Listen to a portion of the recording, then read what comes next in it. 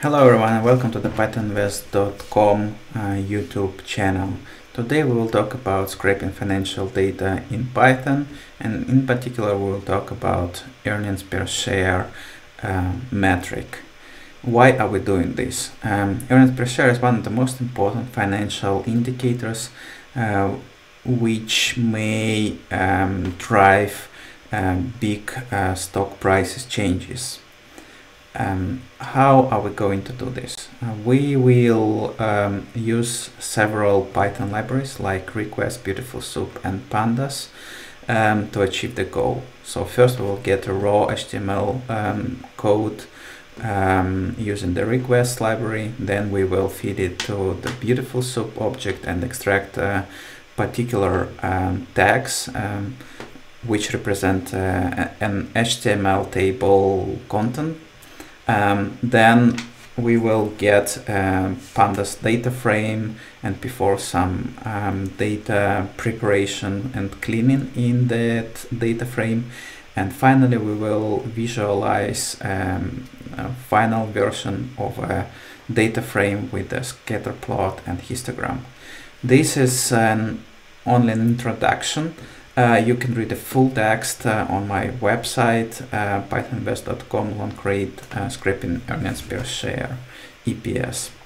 So let's begin. Um, we do uh, standard imports um, and installation of Beautiful Soup 4 library um, with pip install Beautiful Soup 4 and import request Beautiful Soup Pandas and NumPy. After that, uh, we go and check the web page we want to scrape. I have it open in another tab. Uh, this is finance.yahoo.com uh, slash calendar slash earnings. You see that there are parameters from and to and specific date chosen, that is 16th of May on that date there are 20, 223 earnings and we want to scrape the first 100 earnings. You can click the button next and you will see that um, this address actually changed. Now there is an offset 100 and size 100 so you can scrape another 100 uh, records by changing this URL uh, let's get back to code. We want to scrape only one table from the whole web page. This is this table. It consists of um, six rows, symbol, company, earnings, call time, EPS estimate, reported estimate, reported EPS, and surprise in percent. The most important columns are EPS estimate, reported EPS, and surprise percent. So EPS estimate that uh, that it is an estimate by a company or analysts that was provided before an earnings call. Reported EPS, uh, this is a number which actually um, happened and surprise it's a difference between reported EPS and EPS estimate so if it's uh, uh, the actual number is uh, higher than it was expected it is a positive surprise and it is green if it is uh, uh, if, if reported EPS is lower than expected, it is a negative surprise like uh, this example, and it is a, a red color surprise. So uh, we want to have this table as a pandas data frame. And in order to do that, we can um, do a brief debugging in, um, in Chrome uh, Code Inspector.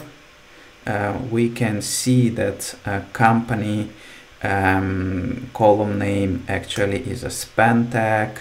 Um, one uh, value is a a td tag and um, top value for the whole table is a table tag.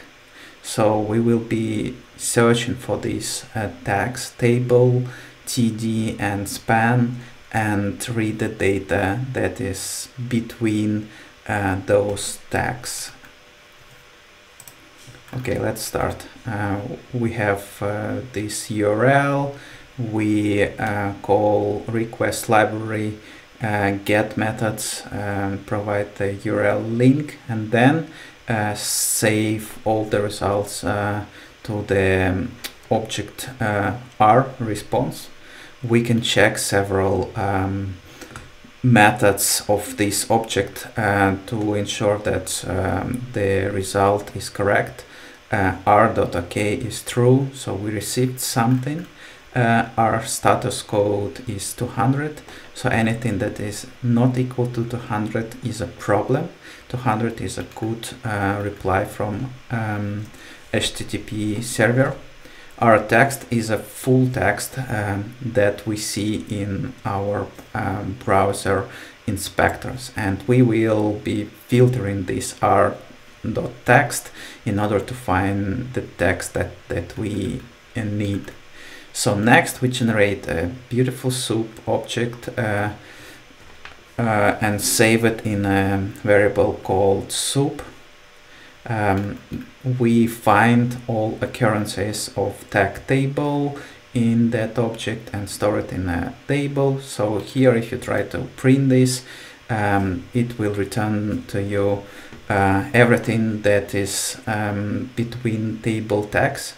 Actually, it's everything um, that is stored in the table with a lot of um, unnecessary for us information like uh, classes, styles, etc. So we have only one table, which is good. So we, we have uh, the table that we need and then we can uh, find all spans uh, in, in the table um, soup.table.thead find all spans. So these spans are um, inside thead um, tag. You can check it in inspector as well. Um, and uh, then we generate an array of uh, columns. Here we see the same columns uh, that we saw on a web page, symbol, company, uh, earnings, call time, EPS estimate, reported EPS, and surprise and percent. Then we we try to, to get all the data with the same methods uh, by looking at the table t-body all tr values. It returns exactly 100 rows, which is a good sign. So we have um, all rows needed, and inside uh, each row we have um, six different values, um, TD values, uh, which represent um, the, the values uh, in cells. So now we, we see that stocks uh, underscore DF data frame looks exactly as we see it on, on a web page. And the problem with this data frame is that if you call .info method, you will see um, that all types um, are object. It's it is not uh, integer or float so you can't do any arithmetic operations for example with with the data. And second uh, problem is that uh, you can't convert it to um, to another data type where while you have uh, empty data cells. Um, it's not empty it is uh, it is a string value um, so we want to erase all rows and all cells um, where um, surprise EPS estimate or reported test EPS is not provided. So we create three filters um, and save um, the result to stocks uh, underscore df underscore no mission. And now you will see that it is only 60 entries out of 100 where all stats are actually filled. Um, if you check um, its uh, head uh, five um, rows, you will see that it looks uh, good. Now we do the transformations of types. We convert uh, um, three columns to float values using method uh, as type and if you check .info again you will see that um, this data frame has 60 non-null um, rows uh, with the proper float types um, and uh, now we can um, do the final step, uh, the visualization. Let's check what we have in a scatter plot.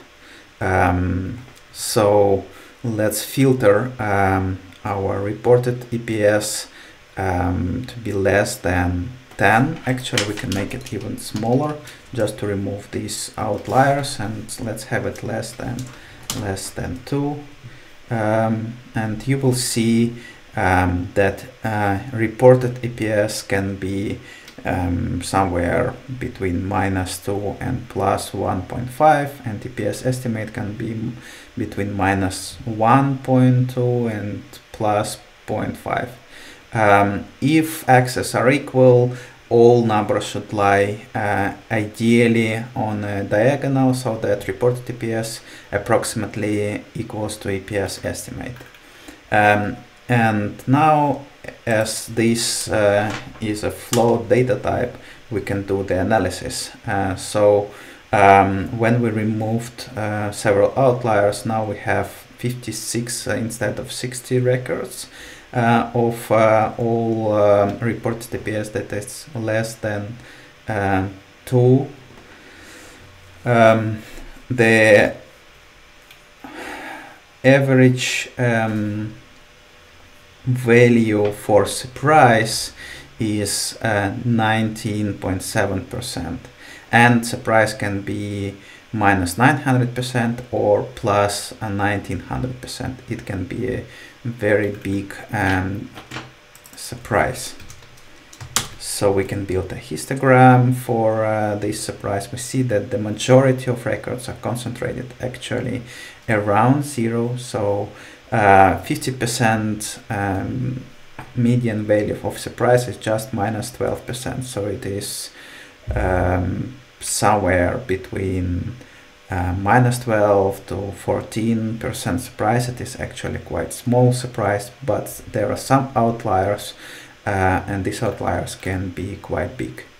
Um, of course, this uh, Colab doesn't give us uh, an answer to the important question, um, does this surprise um, actually show a big influence on stock um, on the stock's price? Or is there a, some threshold of this surprise after which there is a stock price jump? Or uh, is there an, an absolute value of uh, earnings per share like uh, all earnings per share that are more than one dollar um, are more um, influenced by big uh, surprise numbers. So all of that you can read uh, again um, in this article uh, on my website pythoninvest.com um, and actually there is an even more advanced next article um, which takes 200 most liquid stocks and does an in-depth analysis of all history of earnings per share for uh, those articles and checks if there was a price jump for uh, big or small uh, surprises uh, for those um, um, stocks. Thanks for watching and see you next time.